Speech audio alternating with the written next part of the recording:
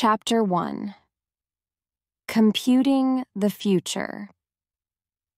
Rachel put down her pen and closed her eyes. She felt tired, very tired. She looked up at the clock. 4:30. Good. There was enough time to get to the newspaper office before 5 o'clock, and she wanted the advertisement to go into Friday's newspaper. Then, well, she didn't know what was going to happen next.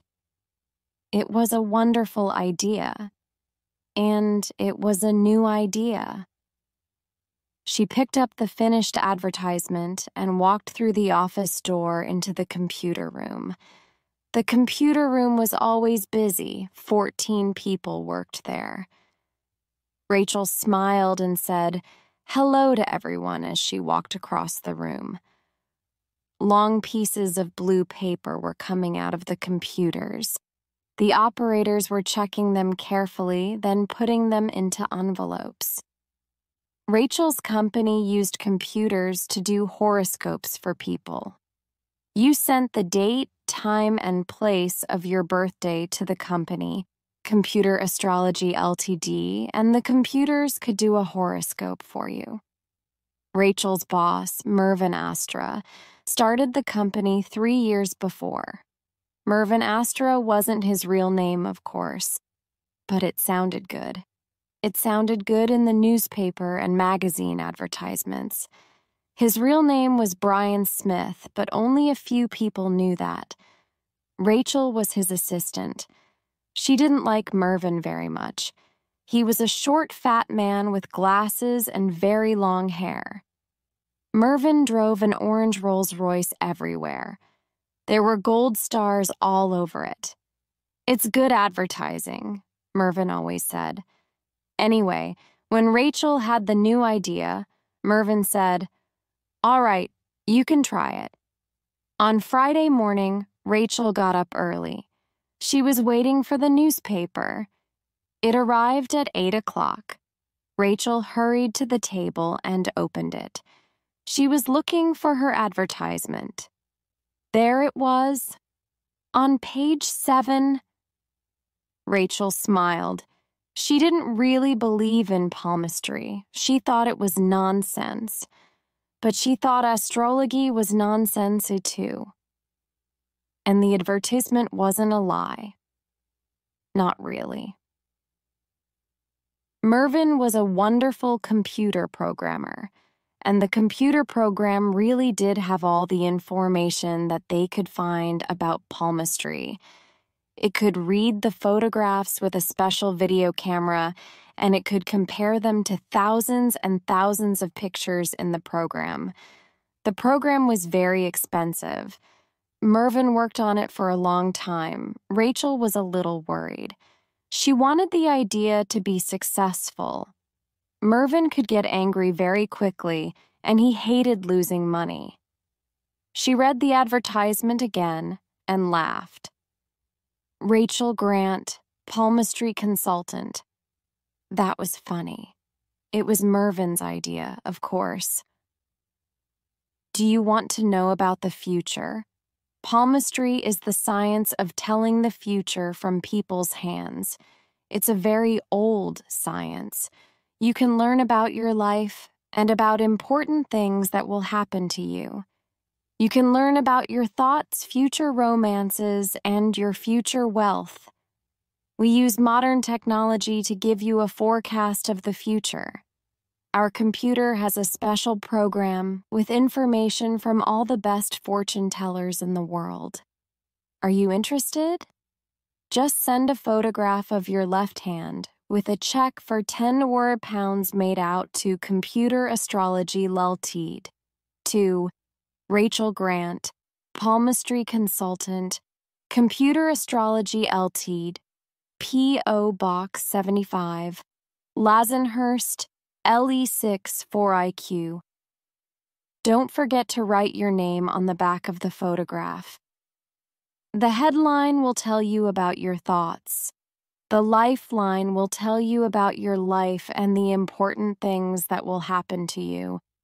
The heart line will tell you about romance and your future love life. The fortune line will tell you about your possessions and future wealth. Computer Astrology Ltd. TM. Director Mervyn Astra. Chapter 2. It's all nonsense.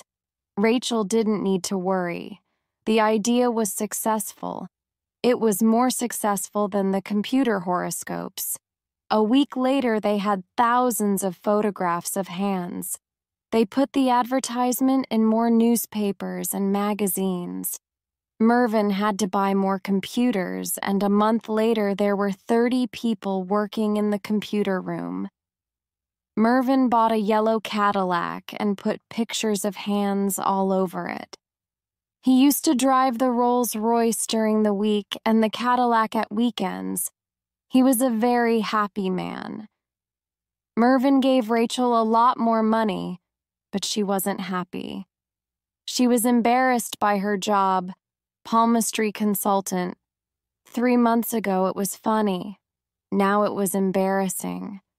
When people said, What do you do? she usually said, Oh, I work with computers. One day, Rachel was at a party. She was speaking to a woman. They were talking about sport when the woman asked her name. Rachel told her. Suddenly, the woman said, Are you the Rachel Grant? You know, the palmistry consultant? Er, yes, yes, I am, said Rachel. Why? Have you heard about me? Oh, yes, said the woman. I have. I've seen the advertisements in all the newspapers. I used to be very interested in palmistry. I used to read people's hands. Used to be? said Rachel. Aren't you interested in it now? No, I'm not, said the woman. I read a lot of books about it. It's all nonsense. Nonsense.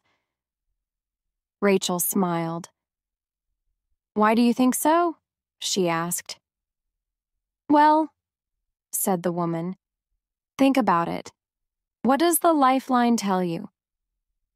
It tells you how long people will live? she said. Yes, said the woman. So, in 1914 and 1939, before the two world wars, were there a lot of people with short lifelines? I don't know, said Rachel. I've never thought about it. Well, said the woman, think about it for a minute. Did fortune tellers see a lot of people with short lifelines? Millions of people died in the wars. Maybe. I don't know. But no fortune teller wrote about it. Never. I've read all the important books. No one wrote about it. That's interesting, said Rachel. But maybe they didn't want to tell people about it. And it was a long time ago. What about the Vietnam War? And Cambodia? What about Ethiopia? I can give you a lot of modern examples, too. Fortune tellers don't usually tell bad news, said Rachel. People don't want to know. Have you read much about palmistry, Miss Grant? The woman said. Well, yes, of course. We had to read everything before we wrote the computer program, said Rachel. Oh, yes, I'm sorry, I forgot. You are a palmistry consultant, aren't you? The woman smiled. Come on, Miss Grant, she said. It's nonsense, and you know that it's nonsense, don't you? I can see that. Chapter 3 Frightened of the Future The next day, Rachel was sitting in her office. She was thinking about the woman at the party she looked through some books on palmistry. She had a lot of books. She couldn't find any information about lifelines before the two world wars. Maybe the woman was right. She stood up and went to the door. Mark, she called. Mark, can you come into my office for a minute? Mark was one of the computer programmers. He worked with Mervyn on the palmistry program. He came in and sat down. Rachel told him about the woman at the party. Mark, she said, can we do a statistical analysis of all the palmistry photographs? Mark looked surprised. Yes, he said. We can do that. It's easy. But why? What are you looking for? I'm not sure, said Rachel. I've got an idea. Maybe it's a silly idea, but I want to compare all the photographs. Maybe we can find something in all of them. Something about the future. You mean. You mean a lot of short lifelines? I hope not, said Rachel. But it's interesting, isn't it? I want you to compare different towns and cities. Compare them with each other and compare them with the country areas. I want statistics for different areas of the country. We've got all this information in the computer. Why don't we use it? You can do it, can't you? Does Mervyn know about this? said Mark. Not yet, said Rachel. I probably won't tell him either. You're right, said Mark. Mervyn won't like it. He won't like it at all. He's frightened of the future. Did you know that? He's never done his own horoscope on the computer. I wanted to do it when we were writing the program. We needed to try the program, but he didn't want his horoscope, and he didn't want a photograph of his hand either. He was afraid. They both laughed. Chapter 4 some interesting results. A few days later, Mark walked into Rachel's office. He put a box on her desk and sat down. What's in there? said Rachel. Computer printouts, said Mark. Well, said Rachel. What have you found? Mark looked down at the desk. Nothing really, he said. In most areas, we've got photographs of hands with long lifelines, middle sized lifelines, and short lifelines. We didn't learn very much. You see, we haven't got enough photographs. We'd need a thousand or more from each area of the country before we could do any real statistical analysis. But we've had thousands and thousands of photographs, said Rachel. Yes, but that's from everywhere in the country, said Mark. Wait a minute, said Rachel. You said in most areas there are long lifelines, middle sized lifelines, and short lifelines. You didn't say in all areas. There is one area, but it's silly, said Mark. Go on, said Rachel. It's only one town. Chatford, he said. Chatford? said Rachel. Yes, it's a middle sized town in the southwest. About a 130,000 people live there. I know the town well. I used to live there too. You used to live there? asked Rachel. I didn't know. Yes, I used to be a computer operator at the power station. That was four or five years ago, before I worked for Mervyn. Anyway, there's a big nuclear power station just outside Chatford. I used to work there on computers. What about Chatford? said Rachel. First, we've got nearly 2,000 photographs from Chatford. 2,000? Isn't that a lot from one town? Yes, and it's enough to do a statistical analysis. Look at the list. These are all towns about the same size as Chatford. There are 22 photographs from Norwich, 108 from Oxford, 93 from Bournemouth, 105 from Torquay, 86 from Brighton, 42 from Exeter. Why did we get so many from Chatford? asked Rachel. Yes, I wanted to know that too. It's very easy. Mervyn's brother owns the newspaper there, the Chatford Evening Star. He gave Mervyn a lot of free advertisements, and he wrote a lot of stories about computer palmistry for the newspaper. Mervyn comes from Chatford. I met him there. He was visiting his brother. Well, what's strange about the photographs? It sounds silly, but more than 75% have got short lifelines, said Mark. Did that happen in any other town? Not really. All the photographs from Norwich had long lifelines. Then I looked at the addresses on the back of the photographs. We only had 22, but 20 were all from the same hospital for old people. They were all from people more than 80 years old. That's interesting. You mean all of these old people had long lifelines? Maybe it's not nonsense. Maybe, said Mark. Anyway, said Rachel. How short were the lifelines in Chatford? I looked at each age group under 10, 10 to 20, 20 to 30, 30 to 40. The lifelines were shorter than average in all of them.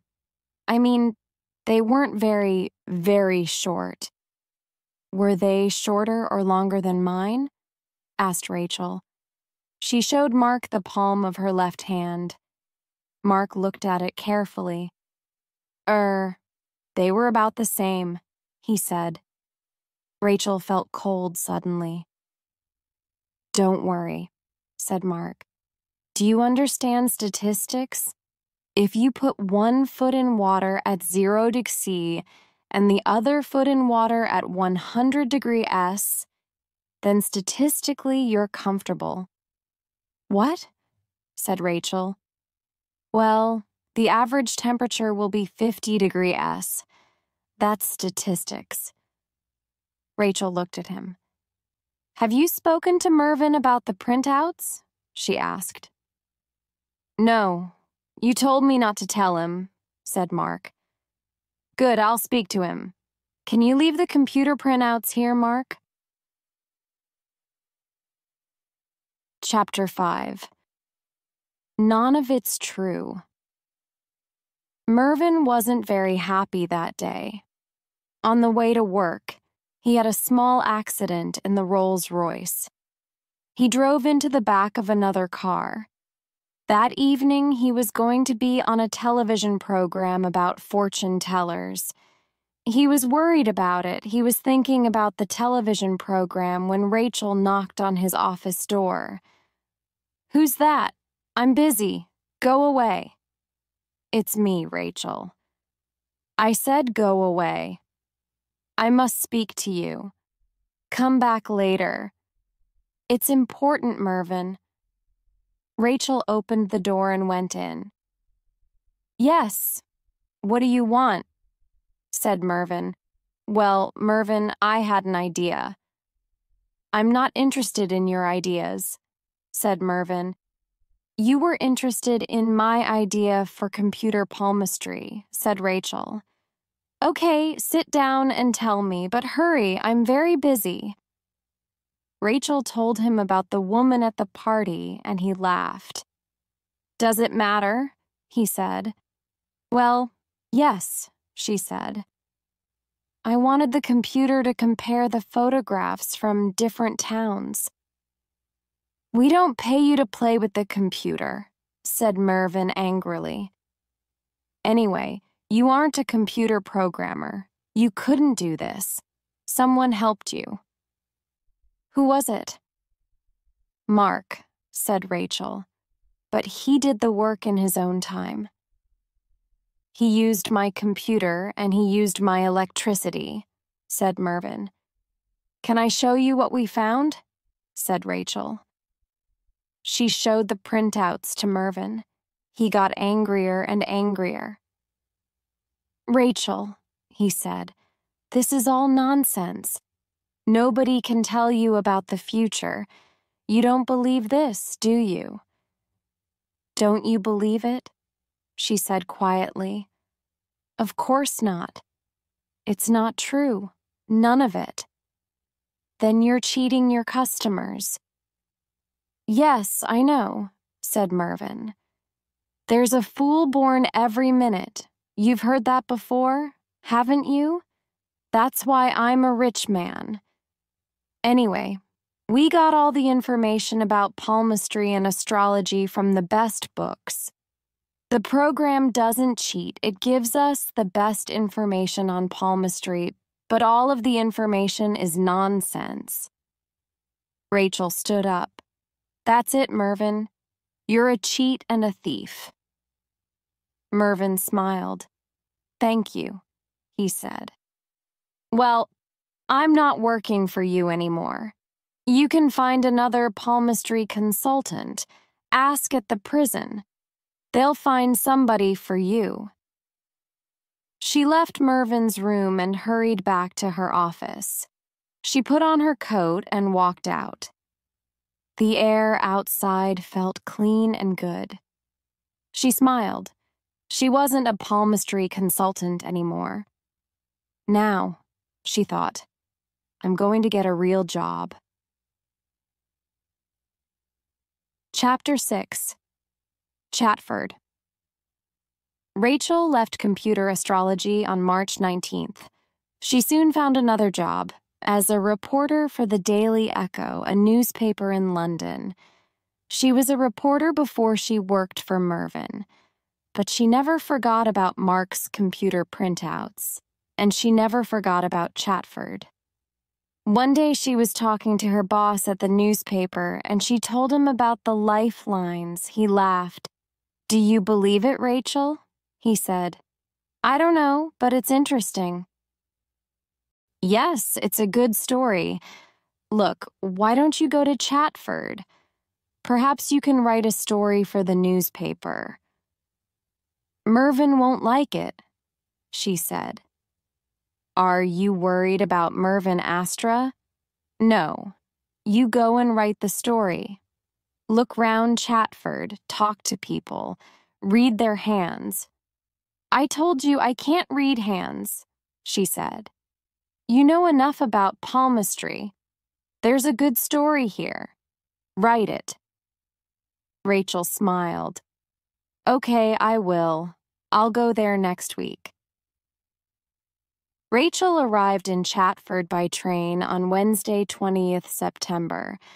She got a taxi to the Royal Hotel. She walked into the hotel and stopped. A short, fat man with glasses and very long hair was standing there. He was shouting at the girl behind the desk. Do you know who I am? he shouted. My brother owns the Chatford Evening Star. I want a room with a bath and I want it now. And you didn't write or telephone? said the girl. What's your name? Come on, what is it? You're going to lose your job. My brother's a very important man in this town. His face was very red. Rachel walked over to the desk. Hello, Mervyn, she said. Mervyn looked round. What are you doing here?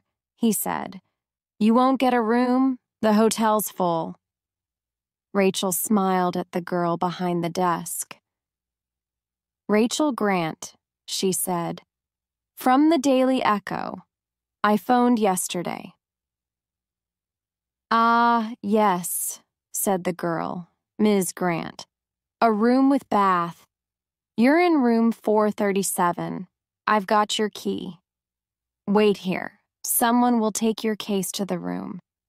Thank you, said Rachel. Mervyn looked very angry. Well, I'm not staying here. I'm going to another hotel, a better one. Good, said Rachel.